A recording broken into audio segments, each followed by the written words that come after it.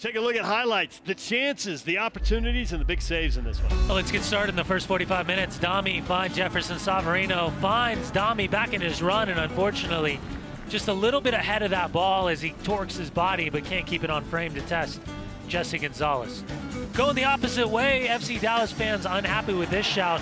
Mosquera tugged down by Aaron Herrera. His left arm, watch the left arm of Herrera come across the body I don't know, man. DJ, for me, if that was an RSL player, we'd be screaming for a pen. Jefferson Savarino from distance and just down to his right-hand side, Jesse Gonzalez. And then Barrios down to the left-hand side. Dominic Badji rises up well, but watch the way his body torques his momentum, but he's looking the wrong way. And the frustration is he couldn't guide that past Nick Rimando. Then a half opportunity, Barrios picking the ball up, plays Badji, but he didn't mean to play Badji. Even though Badji was offside, but was he offside? It was a big save for me. He's in an onside position.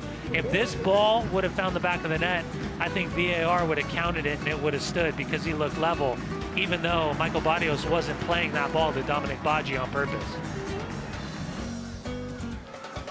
And Jefferson into Everton, and Everton Luiz chop, and then he's got Servania chop, and then at the last second, Matt Hedges gets a big old foot out there, and Everton just apologetic. But on that ensuing corner, what a header from Marcelo Silva. Two goals so far in the season.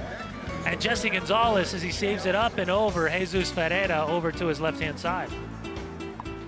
So the score line at halftime, nil-nil. Start of the second half, Nick Rimando. And the first ball comes in from Damir Kreilach. Corey Baird and a big save from Jesse Gonzalez off of his right thigh. Corey Baird looking for his second goal of the season. Gonzalez just tries to get as big as possible and just tags him in the right thigh.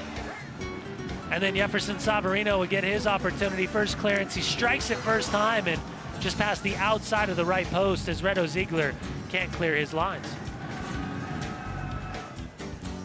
Paxton Pomykal, what a ball this was in behind Santiago Mosquera. This will be his final touch of the game and he just misses picking out that upper left-hand corner of Nick Rimando.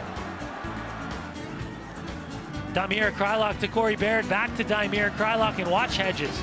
Just drags a foot out there and takes the ball right off the foot. Domi trying to chop it, set himself up for inside of the left foot, and Hedges just gets a toe poke to alleviate the pressure.